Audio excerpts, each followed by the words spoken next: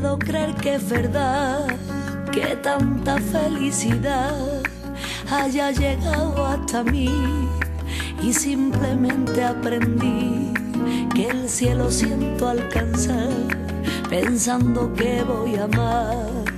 Por eso no puedo así quitar mis ojos de ti. ¿Sabes lo que vale esto?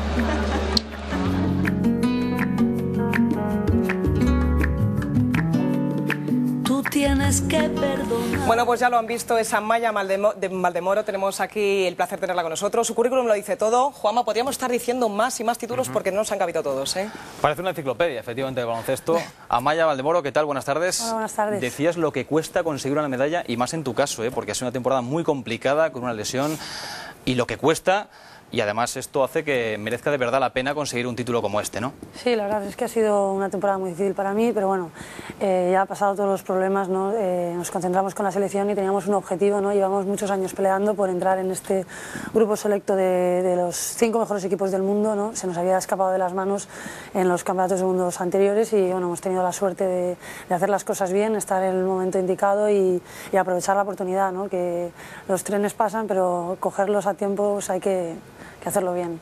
Es que Amaya, tu año no ha sido fácil. Llegabas justísima por una, por una lesión, Sí. casi todo, bueno, muchos meses de este año, y a puntito está, estuviste de no poder llegar a ese mundial. Sí, bueno, ha sido un verano muy duro. ¿no? La suerte, lo único que ha salvado la temporada ha sido que el Campeonato del Mundo era tres meses después de la temporada y bueno, he estado trabajando muchísimo con el fisio, la doctora de la selección me ha ayudado un montón y mucho, mucho trabajo y, y luego pues la recompensa ha sabido a gloria, la verdad. Fíjate, ahí estás feliz junto al resto de las jugadoras de la selección española. ¿Qué balance haces del Mundial al margen de la medalla? Porque todo ha sido prácticamente perfecto. Sí, bueno, el, el balance que se hace es, eh, hemos sido el equipo, hemos sido las representadas de, de- de lograr este bronce, ¿no? Pero es un trabajo en el anonimato, ¿no? Cada año estamos dando un pasito más, ¿no? El trabajo de, de- la cantera, ¿no? De, cómo la Federación ha trabajado para, para ir eh, recogiendo los éxitos tanto a nivel europeo como, como mundial, ¿no? Y, y este año con la incorporación de, de Sancho Little, ¿no? Que han nacionalizado, pues nos hemos puesto a la altura del nivel mundial de otras selecciones, ¿no? No la americana, pero de otras. Y, y bueno, todo es positivo, ¿no? Y a ver si damos ya definitivamente ese empujoncito para que, que, que se nos escuche un poquito más y hacernos más ver, ¿no? Pero todo en su justa medida. Amaya, partidazo, hay que hablar de ese partidazo entre Bielorrusia, se llevó finalmente esa medalla. Eh, además veníais de una remontada histórica ante Francia también en cuartos. O sea, ¿Cómo recuerdas eso, todo el partido? Partido de cuartos, realmente los campeonatos eh, da igual lo cómo estés jugando, ¿no? Nosotros veníamos de hacer una primera fase estupenda y, magnífica, ¿no? Y te enfrentas al actual campeón de Europa, ¿no? Que es un equipo que, su mayor virtud es destrozar el juego del rival, ¿no? Porque tiene una defensa muy dura, eh, son gente muy física y lo hicieron muy bien porque mm, yo he dicho, solo jugamos a nuestro baloncesto seis minutos.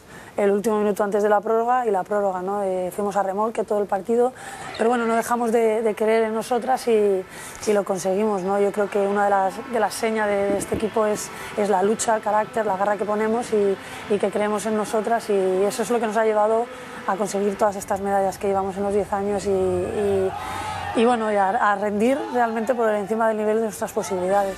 Por cierto, rápidamente, el oro ya queda muy lejos. Ganó Estados Unidos, claramente, todo hay que decirlo, pero ¿el oro está muy lejos o no? El oro del mundial sí, el europeo el año que viene lo intentaremos. Oye, pero a Londres 2012 hay que llegar, ¿eh? Bueno, eso espero. ¿Lo Voy a, tienes voy en mente? Voy a, voy a trabajar, voy a luchar por ello y, y a ver si cierro mi carrera con, con los Juegos Olímpicos. Y antes de Londres, el Rivas, tu nuevo equipo ya está aquí. Estoy súper ilusionada. Este domingo ya, ya jugamos a las 6 de la tarde, a ver si todos los madrileños vienen a apoyarnos, ¿no? porque la verdad es que Rivas está haciendo un proyecto muy bonito, muy ilusionante y, y bueno, vamos a ver que- cómo comenzamos la temporada y a ver si nos podemos juntar con estos dos equipos que son los favoritos, eh, Salamanca y, y Ros Casares, y yo estoy seguro que en un par de añitos eh, se va a oír muchísimo más el nombre de Rivas a nivel nacional y a nivel europeo.